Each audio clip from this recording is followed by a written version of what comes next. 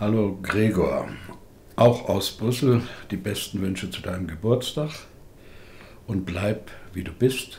Glaube keinem, der sagt, du solltest dich verändern, vor allem jenen nicht, die auch noch angeben, in welche Richtung du dich verändern solltest.